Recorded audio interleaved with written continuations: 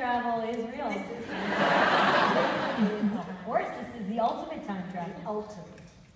Um, yes, I would love to be on Broadway. Sure, yeah, that would be really great. I would love to see something on Broadway, and um, uh, that would be fun. I know, uh, I know that people, I know friends that have had a great time at church. That would be a cool goal to reach. And um, I love doing that part because I, um, Carol Burnett originated that part on Once Upon a Mattress, and then I met her, and she and she. Uh, uh, did something for my audiobook, which you can order now from iTunes.